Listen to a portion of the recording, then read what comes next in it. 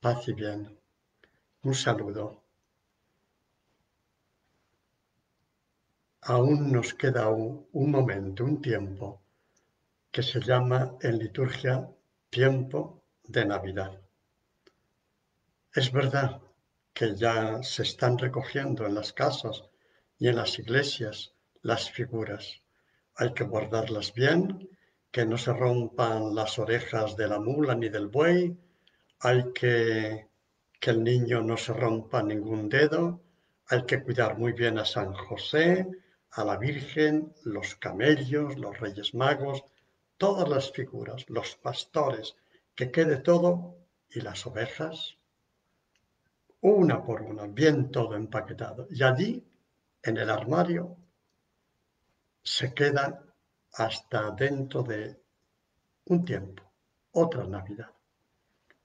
Está bien este rito de recoger el Belén, pero hay cosas que quedan en la experiencia, que quedan en la vida, y eso no se enrolla, eso no se recoge.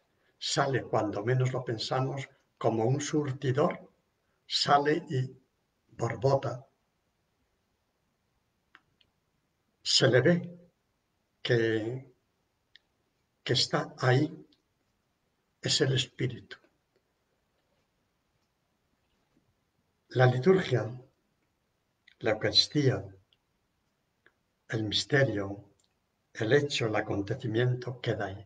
Donde nosotros lo vivimos, lo removemos, donde nosotros lo recordamos y lo celebramos, en los prefacios también. Ya sabes, prefacio es antes de ese momento, prefactum, antes del hecho, antes de, de la consagración en esa preparación está este prefacio.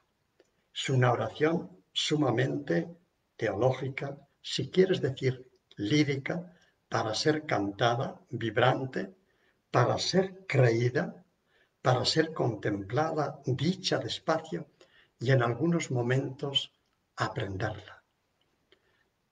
Algunas veces se le ve al que preside la Eucaristía sea un sacerdote, sea un obispo, fíjate, verás, cómo los prefacios los dicen casi sin mirar al libro. No es por decir se lo saben de memoria, no.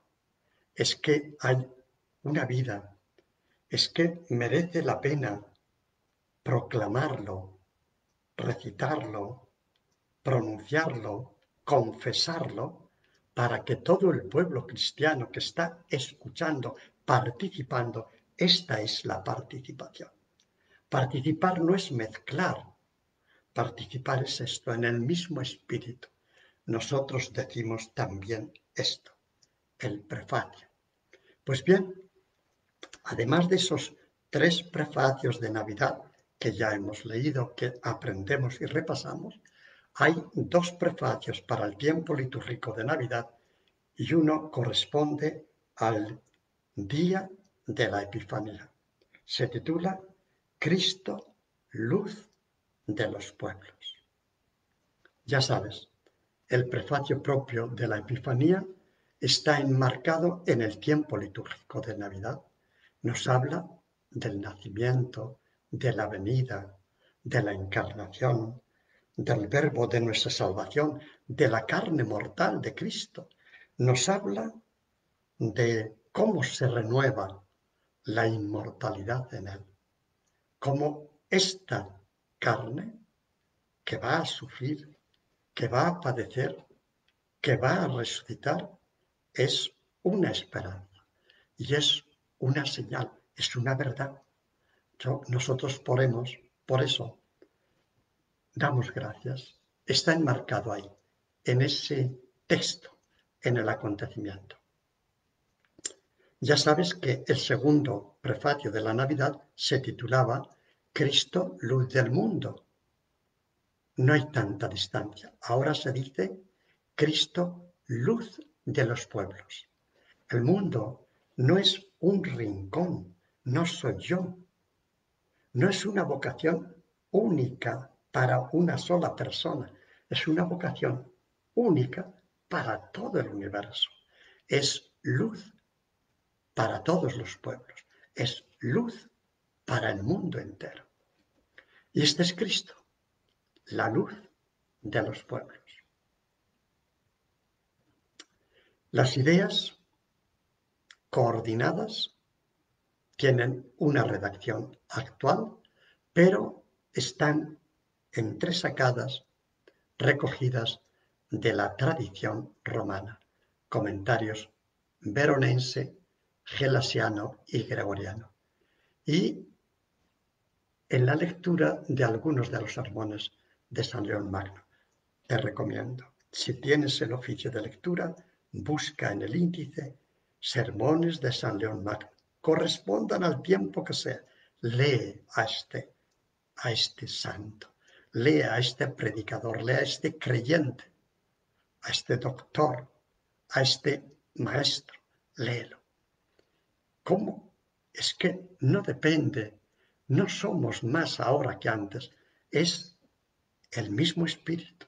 Y el espíritu a los pobres, a estos, les ha dado, les ha llenado de bendiciones. Pues uno es León Magno.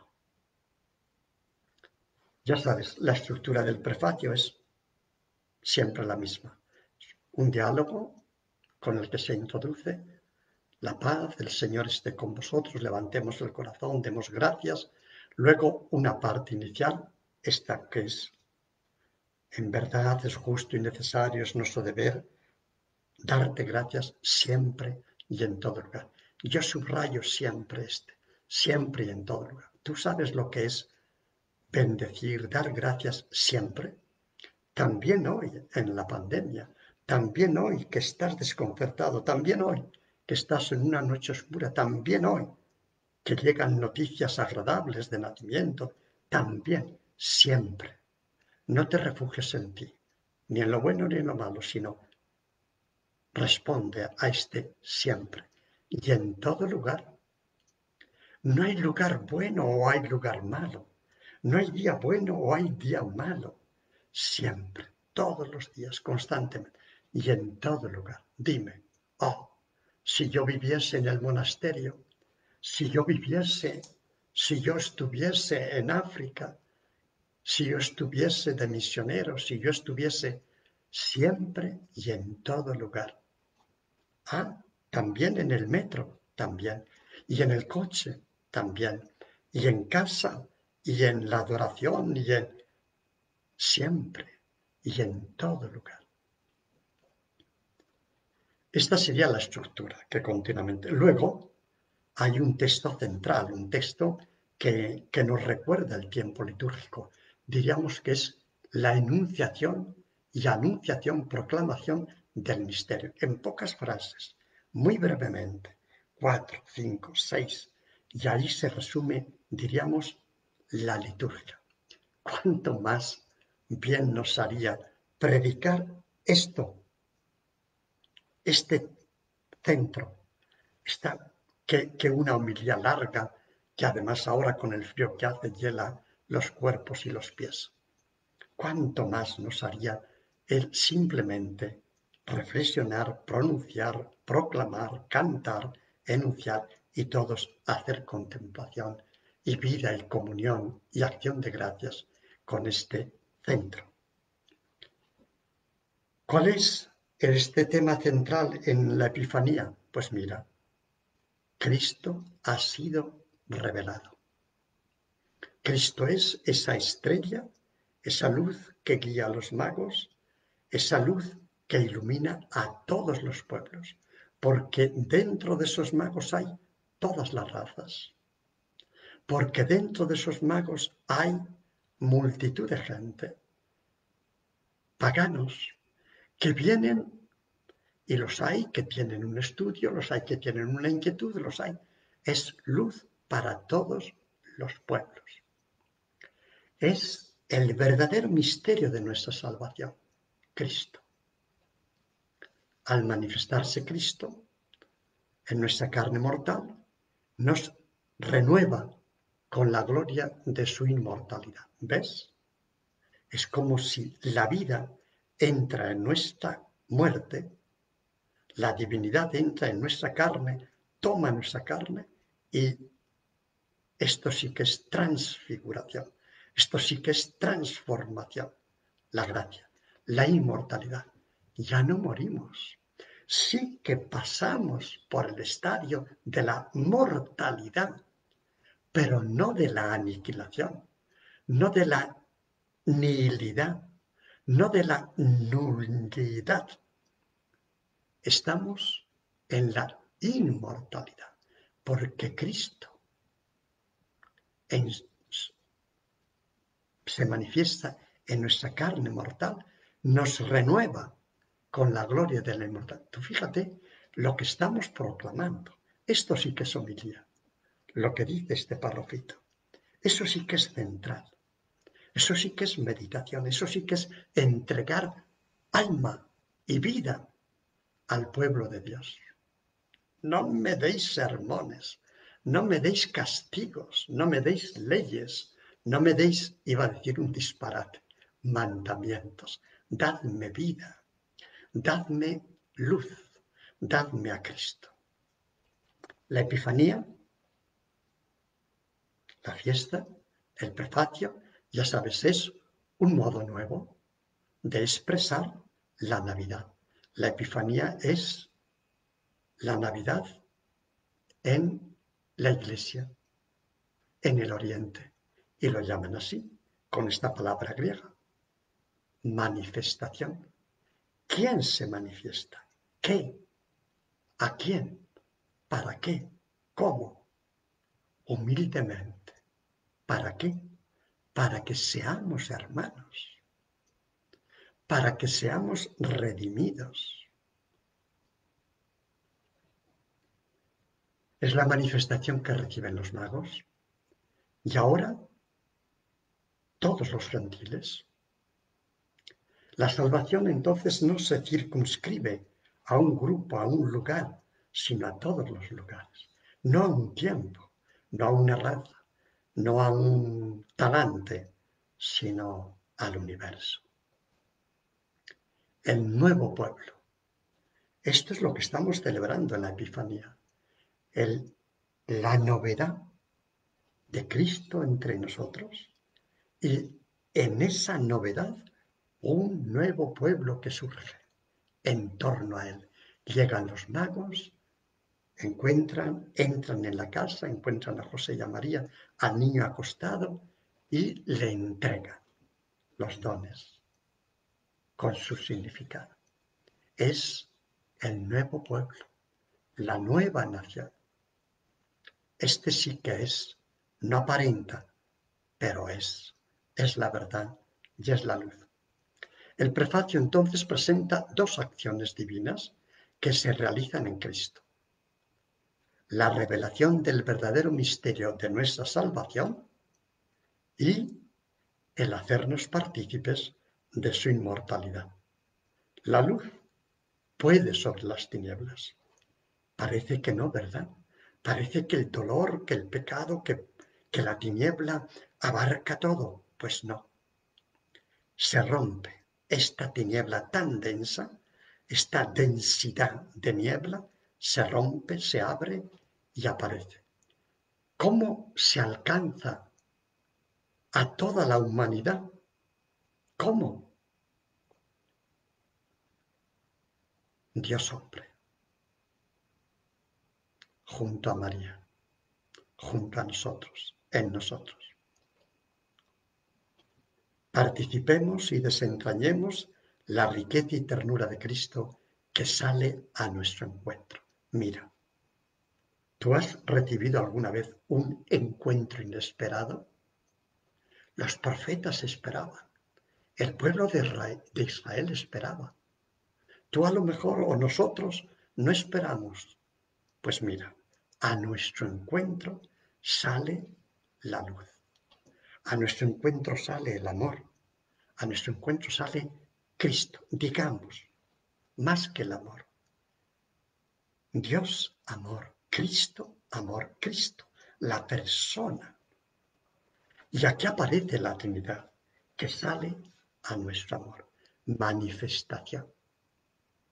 ¿Has visto alguna vez una gran fiesta donde se manifieste la verdad, el amor, la belleza, la vida?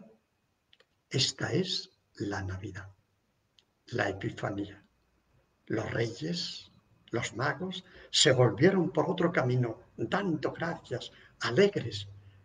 Nos guía la luz, la nueva luz, la estrella, aquella que señalaba, ahora hemos visto, ya tenemos otra luz distinta, nueva, la que no tiene ocaso. También dentro del tiempo litúrgico de Navidad, esa fiesta con ese prefacio, ahora tenemos esta fiesta propia, el bautismo del Señor, con un prefacio propio. Ya sabes, es una composición nueva, se basa en los textos del Evangelio, Mateo capítulo 3, versículos 13 al 17, Marcos capítulo 1, versículos 9 al 11 y Lucas capítulo 3, versículo 21-22. Fuentes, esto, más también misal ambrosiano, sacramentario de Bérgamo y el misal gótico. Como ves, esto que no es una cosa que se me ha ocurrido a mí en un momento y en lugar de hacer esto que está tan bien, os voy a leer ahora un poema o yo voy a decir lo que acaba de ocurrírseme, qué ocurrencias más. No, no, no.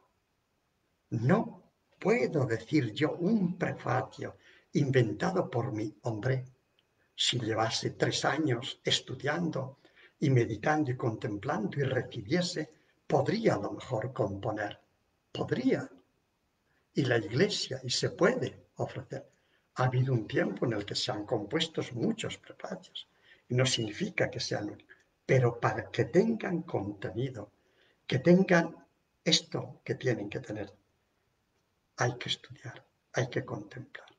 Bien, pues este es nuevo. El bautismo del Señor. ¿Qué nos dice? Pues hay una introducción, hay un saludo y ahora la narración principal, lo que se dice el embolismo.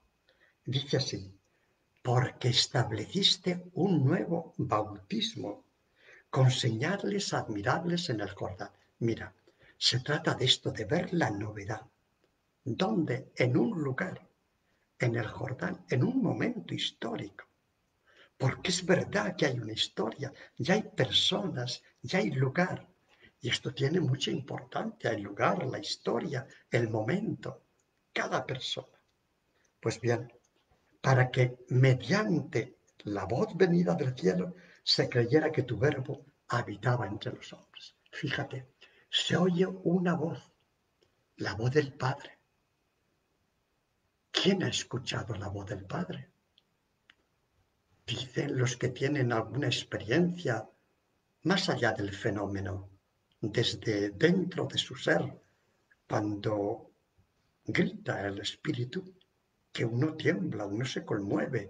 Es como si en un templo un portentoso señor removiese todas las columnas y aquí está Sansón, el espíritu.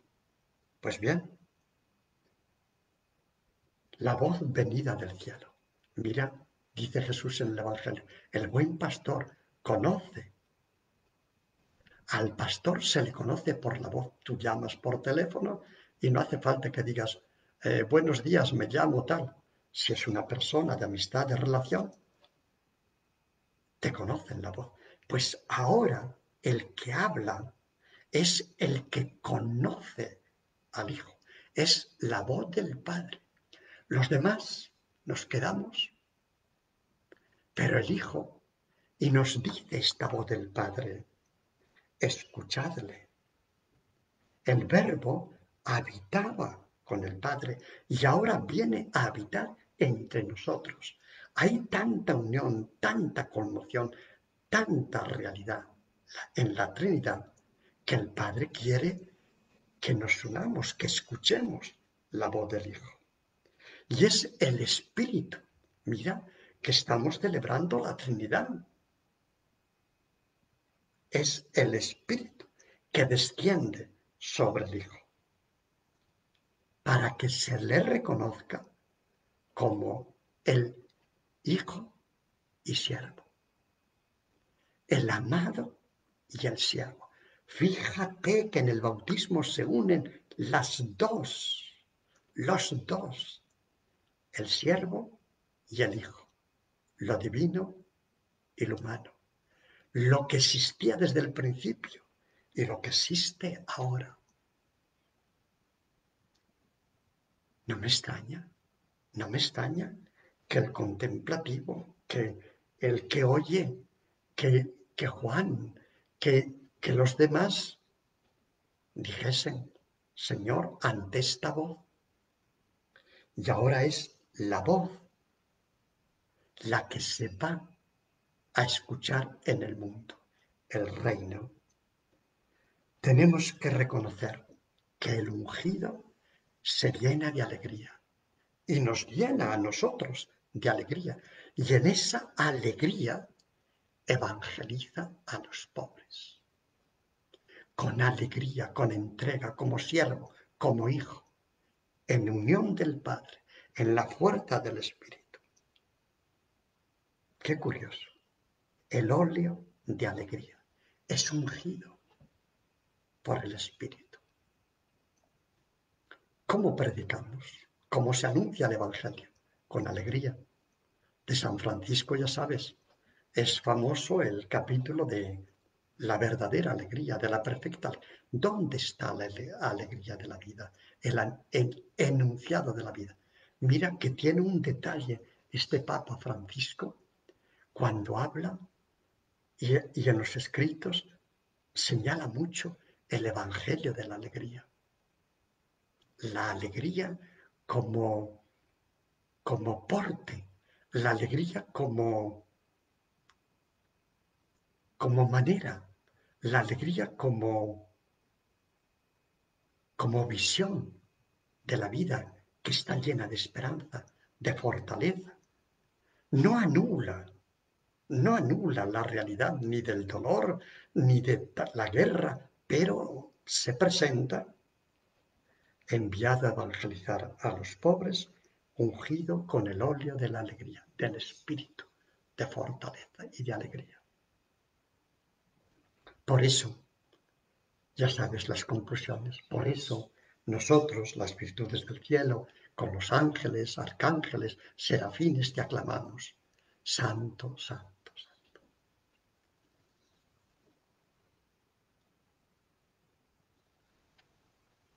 Es un texto doctrinal y de grandes consecuencias para la vida espiritual.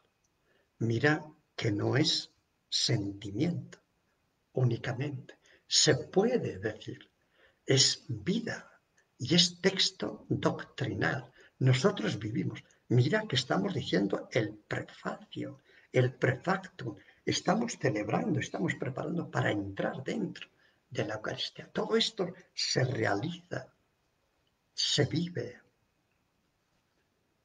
Grandes consecuencias para nuestra vida. Dos aspectos. Primero, la voz del Padre. Escucha. El Hijo amado es presentado. El predilecto. ¿Sabes tú lo que significa? Este es mi predilecto. Esta es mi predilecta. Lee el profeta Isaías escucha el Evangelio, ya no te llamarán abandonada, ni a tu tierra devastada. Tu tierra tendrá marido. Serás mi predilecta. La voz del Padre es el Hijo. Pues para el Hijo todos somos predilectos. El siervo, ungido por el Espíritu, ahora nos entrega el bautismo a nosotros. Nos entrega el Espíritu, la comunión del Padre y su presencia viva. ¿Crees esto? Tenemos que empezar no a escuchar más, sino a creer. Señor, aumentanos la fe. Eso sí, celebrar con mucho gozo el tiempo de Navidad. Que no se queda únicamente en, en una figurita, pero también la figurita es parte de la alegría humana y también un vinito y también el colocar unas campanillas y unas luces. No hay que quitar nada. Signo prodigioso. A la iglesia le interesa la palabra del Padre. Escucha, escucha, es un signo. Tenemos que escuchar. Lo proclama Hijo amado, lleno de espíritu, enviado para revelarnos el designio divino de salvación. No se queda en presentar una figura, no, no. Es entregarnos la salvación en el Hijo, entregarnos la esperanza, entregarnos al amado, entregarnos la gracia, la voz, escucharle. Todo el Evangelio y la autenticidad del misterio de Cristo arrancan del hecho de que Jesús, el Señor, es el Hijo muy amado del Padre, invadido en su condición humana por el Espíritu Divino.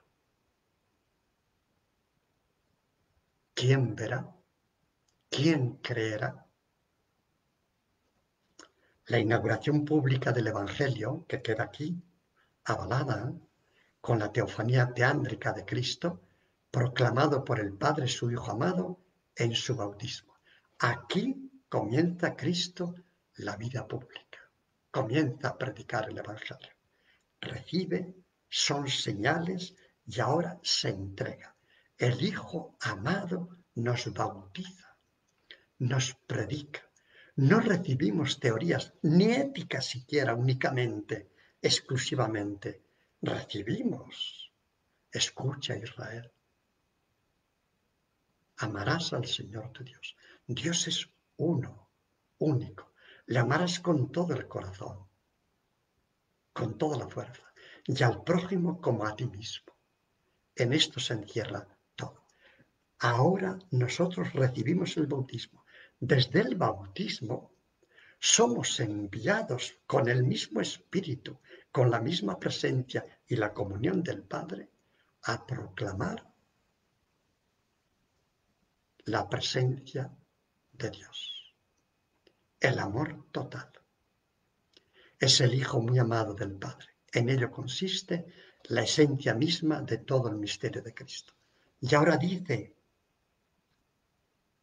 San León Magno en sus homilías, hombre, sé consciente si eres cristiano, si estás bautizado, si estás unido a la Trinidad, si has sido metido dentro del agua que brota de la roca, del agua viva y te ha purificado, no vuelvas. Si has sido arrancado del poder de las tinieblas y transportado al reino de la luz, al reino de Dios, no vuelvas a las acciones malas, cayendo bajo el dominio del demonio. El precio de tu salvación el precio del bautismo en el bautismo es la sangre de Cristo, la comunión del Espíritu, el amor del Padre. Mira que el Padre habla, una palabra dice. ¿Quién escuchará al Padre? El Hijo. ¿Y quién escucha al Hijo? ¿Quién escucha al Hijo? Ahora todos nosotros, como hermanos, como redimidos, como bautizados en su muerte y resurrección, en su carne y vida, en su humanidad y divinidad. No estamos inmersos ya en la muerte ni en el pecado, sino en Cristo, que es luz para todos los pueblos.